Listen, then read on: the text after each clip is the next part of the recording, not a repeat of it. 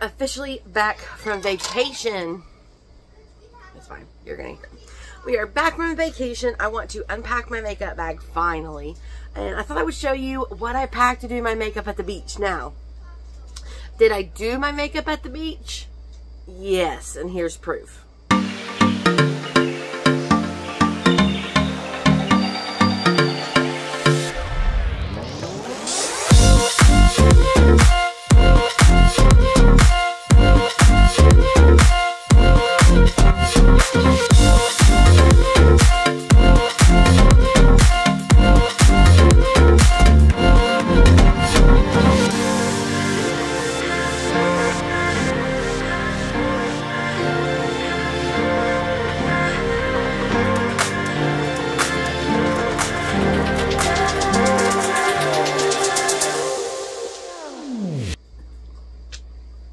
Did I get to film the video I wanted to film? No. Between the waves and my people coming out, like, it just, it wasn't working. So then I was going to try to do, like, just this aesthetic thing. And then I thought, who wants to sit and watch a half hour of me doing my makeup with just the waves? Like, maybe five to ten minutes max.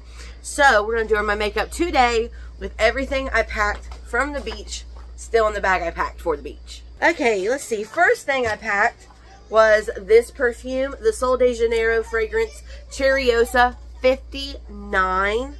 I don't think this has the notes on here. Share the warmth of the sunset with uplifting notes of vanilla orchard, sugared violet, and sheer sandalwood. I am a sucker for sandalwood, sandalwood, sandalwood, bergamot, and vetiver. I'm a straight sucker. I literally love almost anything with that scent. Now, I'm really becoming a sucker for Sol de Janeiro because I bought this. I really wanted the 68, like the new cherry one that came out because apparently it's a gourmand and I still don't know what that means. But I do have the 40. This has notes of black amber, plum, vanilla woods, and musk. I don't like this one as much, but I have it and I can't get rid of it, so we'll see. But I definitely like this one, so this was my beach scent. Okay, let's see. A primer, a primer. A primer would be the place to start. Okay, here we go. I actually have two. So to begin, I went with the Urban Decay All Nighter Face Primer. I don't know. I might need three pumps of this. Really gonna work that in, let it do its thing. So many wanna say. Okay, so while I'm letting that soak in, let me see if I can find, I brought this eyeliner, the Vivid Rich from NYX Mechanical Liner Smoke and Topaz. So we'll use that in just a second. Let me see. I do have some skin prep in here as well. I took my Byoma, B-Y-O-M-A, Depuff and Brighten Eye Gel. Oh, this is also another step that I probably should do now. What else? This is like I don't remember. I took the Ordinary Soothing and Barrier Support Serum. I always thought that was good to put on like after I'd washed my face and stuff in the evening after being outside because like I was stripping sweat sunscreen after sunscreen after sunscreen layer and I thought ooh that that would be good to take with me. I think this is actually the primer that I used in the video. I must not have realized I had the Urban Decay. This is the L'Oreal Magic Perfecting Base. It's supposed to be a dupe for the Tarte one that I'll put a picture of right here. Let me put just a little bit of this on. It's very thick. It's thicker than I thought it would be. And it's kind of hard to get into with my nails. So we'll do just a little bit of that right here. Like where my smile lines and right here in my 11s. See if that'll kind of fill them in. Brows. Back to brows. I took the NYX Micro Brow Pencil in Rich Auburn. So many things that I want to say. You know I like my girls a little bit older. Uh-oh. Okay, so the face base, the Magic Face Base from L'Oreal and the Urban Decay don't like each other because when I put that on, it basically rubbed and peeled. So those two are not two that I would encourage you to use together. Anyways, I also have to micro dermaplane whatever tonight. I am not the best brow person on myself. Like, I don't take the time that probably I should with my brows. I literally just throw color on and then brush them out. And what is, is now on other people, I will take time. I'll brush them. I will put glue or uh, brow gel. Then I'll fill them in. Like I do really good on other people. But when it comes to myself, I don't know. If it's not something super important that I'm going to, I don't spend a lot of time on my brows. And I'm okay with that. The other thing I brought that I wanted to kind of use like under my makeup was the Essence Magic Filter Glow Booster in 10 Light. I did another video um, testing some new products from Ulta and this was in it, but I forgot about it or I didn't use it like at the right time. Oh, I don't like that smell. Oh, I don't like that smell. I feel like I was watching another YouTube video. Who was I watching? Andrea something, and I think she talked about the smell of this. Okay, it's starting to dissipate, but when you dissipate, but when you first pump it, you can smell that smell. And because it is so kind of like thick, it doesn't feel like it's actually going to blend. I'm just kind of patting it on instead of rubbing because we've already seen that Urban Decay get disrupted and I don't want to, I kind of want to avoid that if possible. So there is that. I really should invest in like a little mirror or something that I keep right here. So there is Glowy. Now, two things I brought that I must not have realized that I brought both of them. For liquid bronzing, I brought the Milani Conceal and Perfect Sun Kissed Liquid Bronzing Drops, which I've also done a dedicated video on these, so go check that out. And I brought the LYS Contour Stick.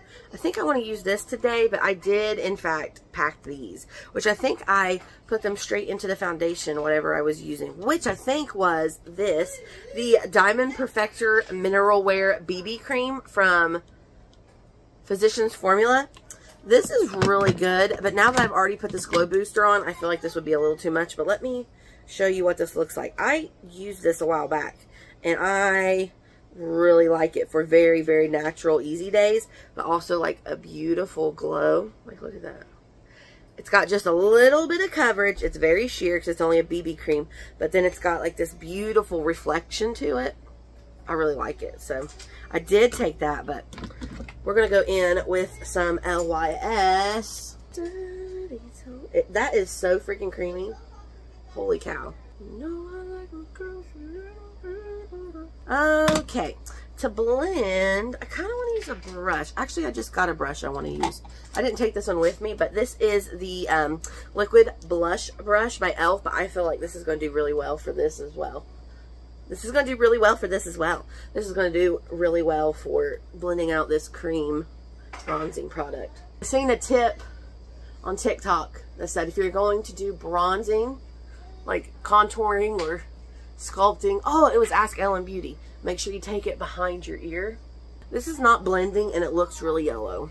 Yeah, I feel like it's not blending. That's okay. I still haven't gone over with foundation yet either, so hopefully the combo here will do the trick. I don't know what's going on, but you can see this really prominent bruise right here. I don't know what the deal is with that. Okay, there is the LYS. Don't know if I'm loving that at the moment. Like this brush. Okay, for blush, I knew instantly what blush I was going to be taking.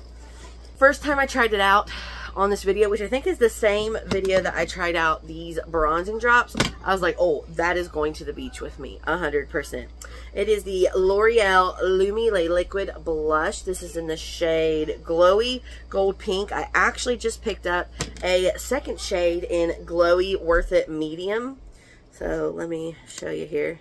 Here we have the Glowy Worth It Medium and the Glowy Gold Pink. And the glowy gold pink is what I took with me to the beach.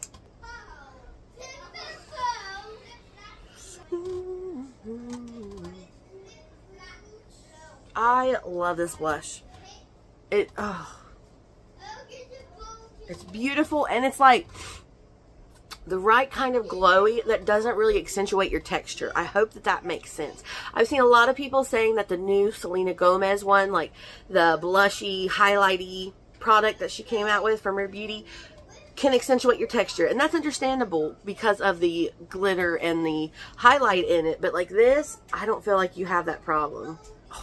I just love it. I love it. Okay. real quick, going back to brows, I guess I also did pack my NYX The Brow Glue in clear. I really should probably get a new one of these because that's that is looking cloudy and that is kind of grossing me out. Honestly, I don't even think I would repurchase one, repurchase this one again. I, my favorite brow anything that I have ever found is the Fiber Fix Gel from Flower Beauty. So that's what I would repurchase probably over the NYX glue. Okay, foundation. I, did I take two or did I just take this one? Oh, just this one. All right. We are going in with the e.l.f. Soft Glam Satin Foundation, and this is in the shade 13 Fair Neutral. And I hope it really does a little bit for this, um, whatever's going on down here. Just going in with my BK Beauty 101. Okay, that definitely helped. And it looks much more natural underneath. Oh, I like that. I did lose a little bit of the blush, but that's okay. Because we do have powder products we're going to put on top. But first, let's do concealer. The concealer that I brought was the Physicians Formula Butter Glow Concealer. I had to take it. It smells like a walking vacation, so I had to take it on my vacation. I am going to let it sit for just a few whatevers and show you this new brush I got. They had um, Morphe brushes, buy two, get one free at Ulta, and I got the MV105. This is like a pointed concealer brush because the concealer brush that I currently have, the current concealer brush I have from Joa, I think it's supposed to be duping that Rare Beauty one, but like when you start pushing, you see how like the bristles will flex and sometimes you end up hitting yourself with the component and I don't really care for that. And so this one, first of all, doesn't have that and it's a little, it's more dense than the Joa one. So I did pick this up. And I like how, because it's kind of like, I guess the word's tapered, like it's pinched, I can kind of get right in that corner. Now I am going to slightly tap over it with a sponge. It just kind of helps the edges get blended out. I like this. This is this is so far my favorite concealer brush. I've tried the one from e.l.f. I have tried one from I don't remember what the brand was. It was not Rare Beauty, but it was like basically trying to dupe this. It was okay. Lost it in the fire, but so far this is the best. Okay, when it comes to powder, this is all I packed, and I think you can see in the video when I realized this. This is the Prime and Stay Finishing Powder from e.l.f., and I am going to use that, but I want to first use the Laura Mercier powder. And then I recently got this. It's that double-sided um, sponge from Real Techniques, the Miracle 2-in-1 Powder Puff. This side for powder, this side for liquid. I'm going to try this out. So we're going to go ahead and pick up a little bit of the Laura Mercier. Okay. Then I read you're supposed to work it in. And then I'm going to start from down here and come up. I think I learned that from, was that Ellen Beauty as well? I can't remember where I learned that from. See, that sets my eyes, but like, it almost makes, even though that's translucent, it makes my face look darker than it is. Like, I need a more translucent, translucent powder. Well, I, I mean, that works. This is nice. I really like the pointiness of the tip to really get into the corner of your eye. This is what I brought for eyeshadow. This is the Wild Child palette from Colourpop. I thought it would go really well with the um, Topaz liner. I just don't have the energy to do that today. So I am, though, going to take just a little bit of eyeshadow primer, which I'm sure you guessed is Milani. Just a scoosh, a scoosh, just a scoosh. And then I am going to pop over the top of that with this shade hashtag spotted right here. Then I'm going to take a little bit of Ground Crew. Sorry, I know. I can feel my mood. So I'm going to try to hurry up. And then on the lid, I am going to take some of this shade Fierce. So basically this whole top row is my eye look. Then I'm going to literally just take my finger, tap into some of this Hard to Get. And I would go in with that topaz and like do the underlining and the top, but my spirits are falling and I must hurry up and finish.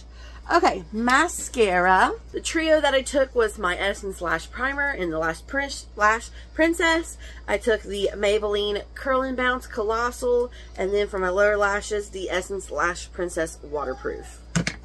Alright, I'm going to give that a second before I put the mascara on top. For powder blush, I took my NYX Butter Melt Blush. This is in the shade You Know Butter.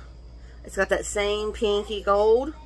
This is a new brush. This is the Morphe V106. I feel like this is the type of brush I always see Manny MUA applying his blush with. Like a very, I don't know, that kind of a brush. Versus what I would put my blush on with normally would be this big old honka chonka. And I think this is actually like a foundation brush. And I would like, blah, blah. I feel like this is much softer. I kind of, I really like that. I need to wash my brushes. Boop. Okay, back in with mascara. Okay, bronzer, NYX Buttermelt and All Butted Up. And I use a foundation, like a powder foundation brush to apply this. This is the e.l.f. powder blurring brush. It really is good if you have a powder foundation, but I really like how it gives that kind of still that seamless look, but for my bronzer. Okay, I'm going to give a quick spritz of my Prime and Fine Setting Glow stuff from Catrice. I don't feel like that was the right words, but you get what I'm trying to say. Okay, for lip liner, I went in with the Milani. This is like literally my top liner.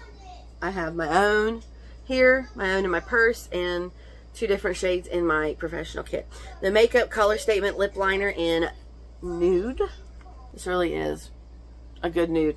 I can barely tell that uh, I'm putting it on my lips. And I bought, I brought two different lips. The first one to go in with is the Milani Color Fetish Hydrating Lip Stain. This is in the shade Rose Rising. Then I also had a second setting spray, the Professional Super Setting, but I don't feel like I really need to go into that right now. What I am going to do is go into my finishing powder. Take the same puff. I'm going to flip it on the other side. Look, this is how I literally, it's great. And it's cheap. I've already got two other ones somewhere in here. All right, I'm to take a little bit of this. Guess I'm looking for my mirror. Mm, and I'm just to lightly tap. Beautimus, Beautimus. And I'm just to leave it like that. I would have, or I can, I guess, just to show you.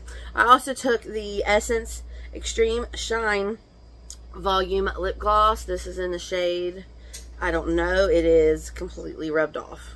It's like the tannish looking one with the glitters. And there you go. That is all the makeup I packed for the beach. It didn't wear that well down there because I'm a sweaty girl and I get anxious and then that perpetuates the sweat. But if it had worn well, it would have looked really nice. If I do say so myself. So, thank you for watching this video. I hope you will like and subscribe and I will see you next time. Bye-bye.